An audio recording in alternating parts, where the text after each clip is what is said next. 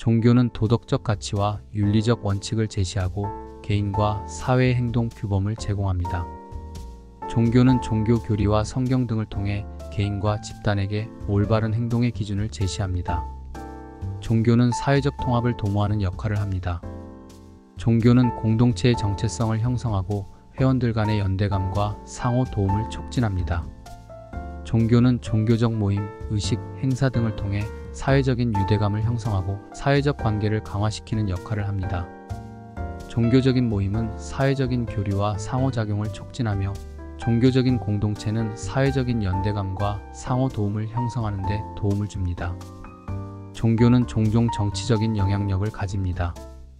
종교는 사회 정체성과 정치적 가치관을 형성하는 데 영향을 미치며 종교적인 이념은 정치적인 결정에 영향을 줄 수 있습니다.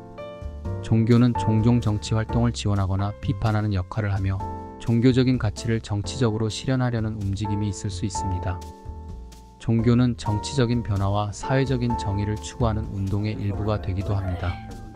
종교는 문화적인 영향력을 가지고 있습니다.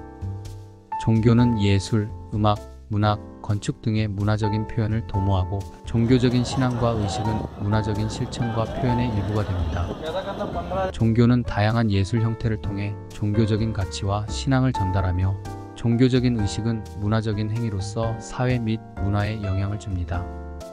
종교는 특정 지역이나 문화의 정체성 형성에도 중요한 역할을 합니다.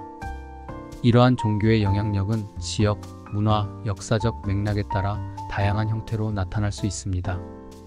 종교는 사회 및 문화에 영향을 미치는 동시에 사회 및 문화의 영향을 받기도 하며 종교의 역할은 복잡하고 다양한 요소들에 작용합니다.